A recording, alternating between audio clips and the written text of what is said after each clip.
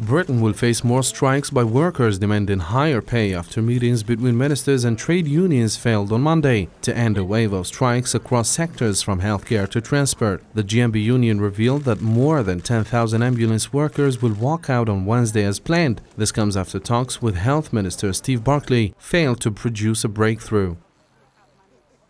Unfortunately, the uh, the government have missed yet another opportunity to put this uh, right. We came here uh, in good faith.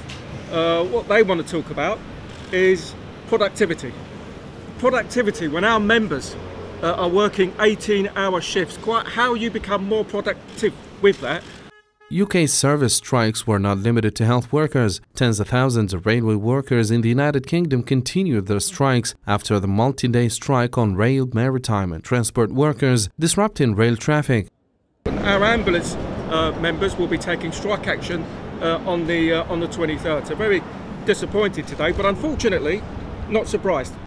On government level, however, British Prime Minister Rishi Sunak stated that talks between ministers and trade unions were a positive development.